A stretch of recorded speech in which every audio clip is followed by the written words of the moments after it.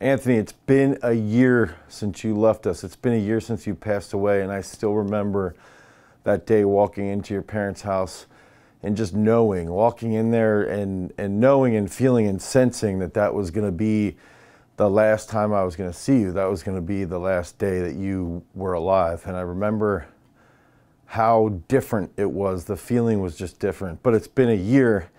And I think for me, and I think for a lot of people, it's more important that we really start to think about you and who you were and a lot of ah, shit. And a lot of crazy stuff has happened since you passed away. A lot of crazy things have gone on. Uh, we've got covid. Uh, covid has taken over the world basically and we're, we're all sort of shut down. But what ended up happening for me is that this is where you come into play is that you sort of were the one who led me to start going to therapy to, to deal with the stress and, and to deal with the thoughts of why were you dealing with what you had and how I didn't feel like that was fair and, and, and how, how much bullshit that was. But what ended up happening is that since you passed away, I started to think about how you never bitched about anything. You never complained about anything and you would come in and you'd train and, and you'd always work your ass off. You'd always work as hard as you possibly can. And you never, ever complained. And instead, you would actually make these goals. You could dumbbell bench the 90s, the 90s with one arm for a set of five, and you were military press in the 60s with one arm. You started to squat and do all this stuff.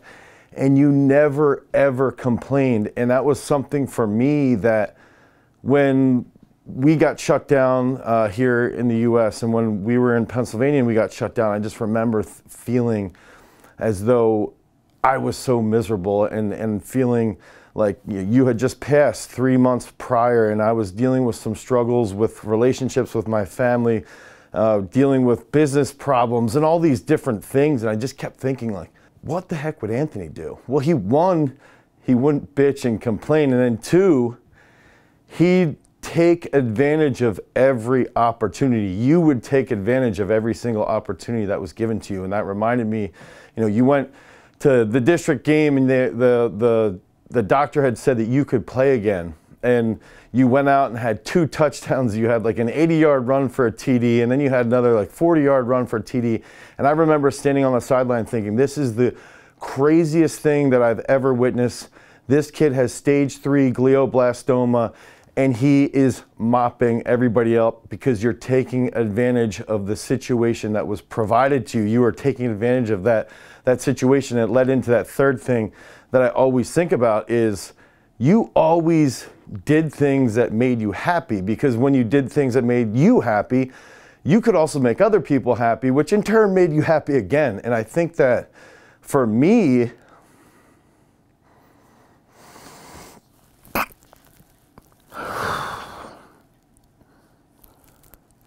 for me, it was you always did what made you happy. You never complained. You always took advantage of the opportunity that was given to you. So it was one of those things where I'm 36 years old going, wow, I'm complaining. I'm not taking advantage of the fact that I'm still alive and I'm not doing the things that I love. And so for the last eight, nine months, I've taken those three key lessons from you of stop complaining, take advantage of every opportunity that you possibly can, and do the things that you love to do.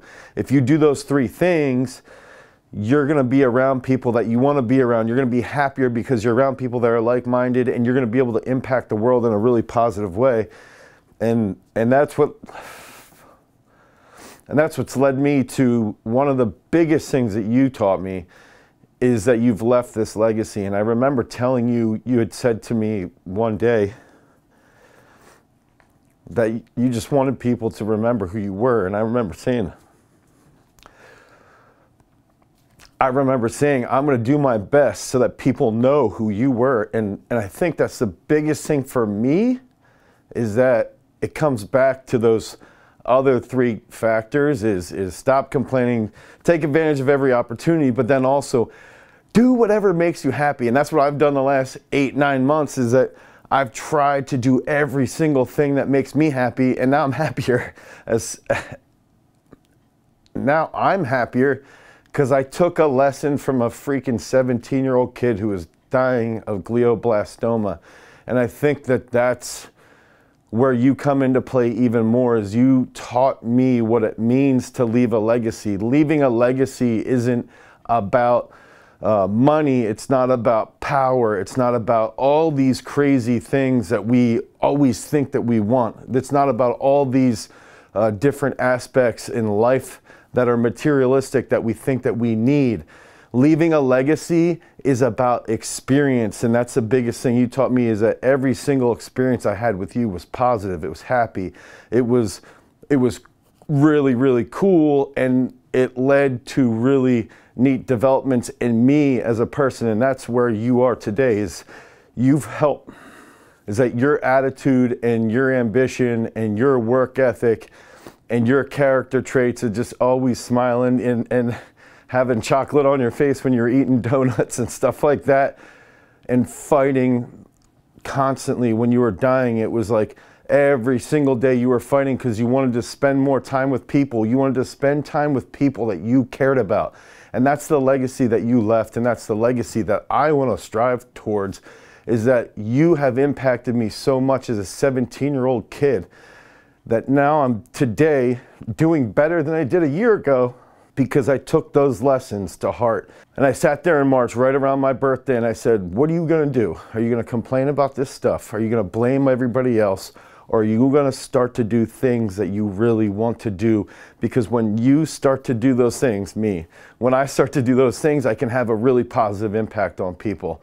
And that's the, the type of legacy that I want. I want that legacy that you've left. I want to be like you were, Anthony. And that's the thing that I think everybody's got to be aware of is that when we can sit there and be, how can we be more like Anthony Myers, a kid who's 17 years old and died of glioblastoma? He had a brain tumor and he completely fought until that very last moment. If we want to be better people, we've got to listen and learn from his legacy, from Anthony's legacy, from your legacy, Anthony, and that's be happy and spread that happiness throughout everybody. Stop complaining about your situation and instead take advantage of every opportunity that you're given. And when we can all do that, the whole world's going to be a better place. We're all going to be happier and we're all going to be doing things and living experiences that are going to have a much greater impact on the world. So I just wanted to share that with you, Anthony. I wanted everybody else to see this, and I want people to know that you are a tremendous inspiration. And I miss you a lot, and I'm going to keep hammering forward as strong as I possibly can to help push your legacy, the legacy of Anthony Myers. Peace.